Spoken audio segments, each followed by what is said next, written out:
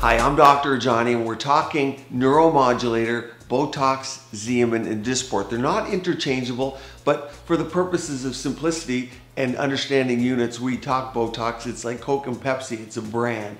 So 100 units of Botox is now normal. What do I mean? That's the most common amount someone walking into a clinic will get. And it's been interesting in Nevada where you have to use whole vials. There are, you can't use it as a multi-use vial. And I asked people, I worked with a couple of clinics a few months ago, I said, you know, how do you get around that? And they said, well, most people are doing 100 units when they come in. There are 50 unit vials, but a lot of people are doing 100 units. How is that? Well, remember, there are FDA approved areas and then there's off label areas. And when I started doing this in the early 2000s, there was only one area that was really FDA approved, and that was the frown or glabella. But let's go through how do we get to 100 units plus?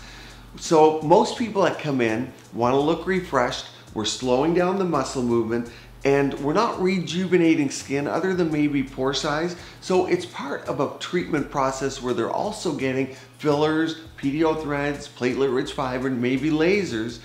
But if you're treating the frown, the number one area still, we're doing on label will be 20 units. The majority of people are gonna get about 25 units. We go up a little bit now because as we see with um, the RT002 from Revance, we'll see higher doses last longer. People like longevity. People with money who are working don't want to come in as often. So 25 units is about average for a frown. If we go to the forehead, 15 units, maybe 12 to 15 units, but 15 units is a good average. And we're talking female doses here. Males will be more. Around the eyes, FDA approved dose, 24 units. Let's skip the bunnies. It's not as common, but that would add to it.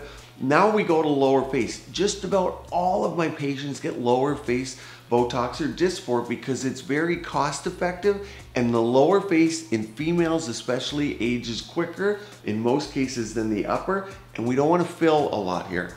So the lips average is six, depressor anguli oris. Almost everyone should get this because people want a neutral to upturned mouth. Six units there.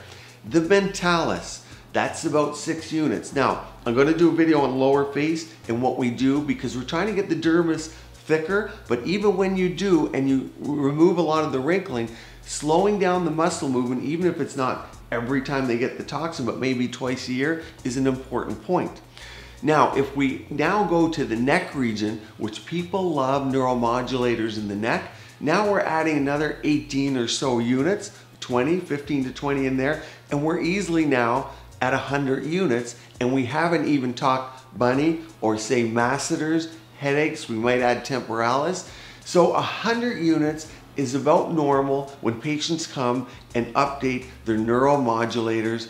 It's not as it was 15 years ago where we're treating one area, but we're more treating the full face. I talk about mesobotox, mesoneuromodulators, where you could add a little dilute treatment around the smile lines or accordion lines to even add to that doses. And that's a safe dose for people. It's not gonna cause any untoward problems or toxicity.